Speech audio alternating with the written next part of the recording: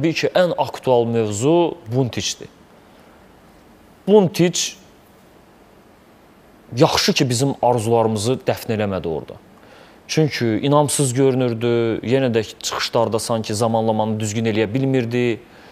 İkinci qolda düzdür deməyək ki, bütün səhvlər onun idi. Çünki orada Ronaldo geriyə pası biraz yerində vermədi. Bəlkə topu vurub çıxarıb sadə yolla getmək 2 metrdən geriyə qapıçıya pas mı verdi, Amma topu. qapıçı da inamsız görünürdü. Yəni qapıçı da sanki bilirsən necə Bax, ə, müdafiəçi hiss eləyəndə ki, qapıçı səviyyəlidir, qapıçı yaxşıdır, qapıçı oyunu oxuya bilir, qapıçı hardasa onun səhvini sığortalaya bilər, o da daha özgüvənli oynayır.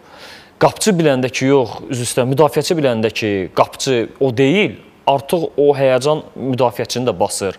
O da artıq bilmir harda necə davransın. Çünki birinci oyunda da bir epizod var idi, yadındadırmı? Bəhlul'la Buntiç az qala anlaşa bilmədilər birinci hissədə, qolla nəticələnirdi. Yaxşı ki, orada bəxtimiz gətirdi, e, rəqibin futbolçusu topu çərçivəyə göndərə bilmədi. Amma bu oyunda da biz eyni mənzərəni gördük və indi yeni qapıçı gəlib, Koxalski. Koxalski.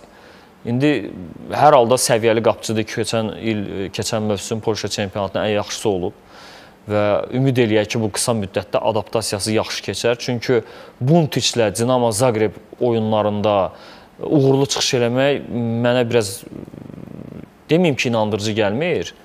Amma hər halda biraz ehtiyatlanıram, təlaşlanıram. Yəni Buntiçlə bu yolu getmək çətin olacaq.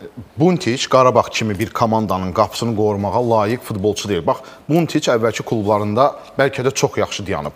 Çünki məsələ nədir? Qarabağ tamam başqa üslubda oynayır. Qarabağ dominant futbol oynayır. Qarabağ e, oyunun 70-80 dəqiqəsini e, meydan aid hissəsində keçirir. Belə də təbii ki, bütün komanda stoperlər, yəni stoperlər ən azı meydan xəttində dayanırlar. Orada dayanırlarsa qapıçı cərimə meydan sahəsi içərisində olmamalıdır.